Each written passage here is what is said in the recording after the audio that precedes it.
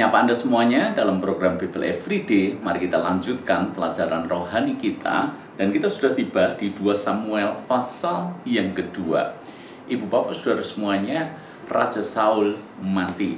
Dan ketika Raja Saul mati, otomatis ada sebuah kekosongan jabatan raja untuk memerintah Israel memang ada anak Daud yang uh, maaf, memang ada anak Saul yang bernama Isiboset yang dia menyatakan dirinya sebagai raja atas Israel. Tetapi ibu bapak saudara semuanya orang-orang Yehuda lebih pro kepada Daud.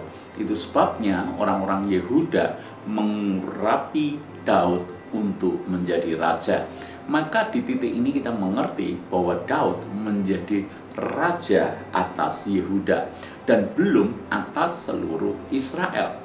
Daud menjadi raja atas seluruh Israel baru dicatat di pasal yang kelima setelah Daud mengalami serangkaian proses setelah Daud perang ke sana kemari baru akhirnya di pasal yang kelima dia diurapi menjadi raja atas seluruh Israel. Apa yang kita bisa pelajari dari hal ini? ternyata cara Tuhan mengangkat Daud pun itu tidak serta-merta. Cara Tuhan mempromosikan Daud tidak langsung seketika. Daud dipercaya menjadi raja atas Yehuda dulu, atas wilayah yang tidak begitu besar dibandingkan dengan seluruh kerajaan Israel. Tetapi kita melihat bagaimana Daud begitu setia dengan tugas dan tanggung jawab sekalipun hanya memerintah kepada Yehuda saja.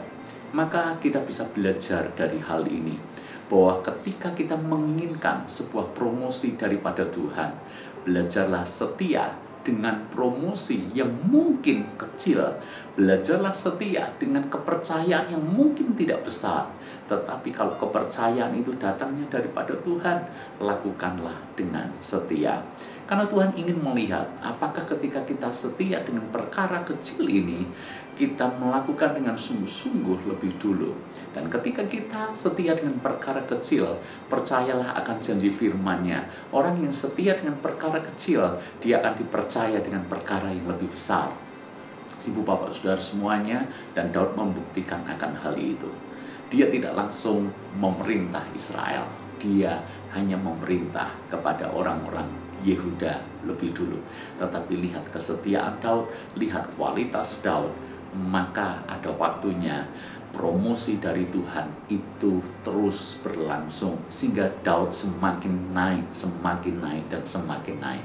Alkitab menyatakan keluarga Daud semakin kuat dan keluarga Saul yaitu Esiboset itu menjadi semakin lemah sehingga akhirnya pun kedudukan raja atas seluruh Israel jatuh ke tangan Daud. Ibu bapak saudara semuanya problem kebanyakan orang adalah dia inginnya instan, dia inginnya cepat. Kalau menjadi nomor satu dia ingin secara cepat dan benar-benar menjadi nomor satu. Dia tidak mau melewati tahapan-tahapan tertentu. Kegagalan banyak orang adalah dia tidak mau memulai dari anak tangga yang paling bawah. Padahal kalau kita tidak memulai dari anak tangga yang paling bawah, bagaimana mungkin kita bisa mencapai anak tangga yang paling puncak? Itu sebabnya kualitas kita justru terlihat ketika Tuhan percayakan perkara-perkara kecil lebih dulu kepada kita. Daud jelas terbukti dia sangat setia dengan perkara-perkara kecil. Anda masih ingat awal Daud dia diurapi menjadi raja. Dia tidak langsung sombong, dia tidak langsung pongah seolah-olah dirinya adalah raja. Sebaliknya, ketika dia diurapi Samuel menjadi raja, setelah pengurapan itu yang dilakukan Daud adalah dia kembali ke padang untuk menggembalakan kambing dombanya yang hanya dua tiga ekor.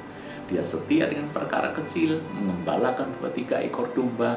Akhirnya Tuhan percayakan dia mengembalakan bangsa Israel. Dimulai dari orang-orang Yahuda dulu, lalu kemudian meluas sampai seluruh orang Israel.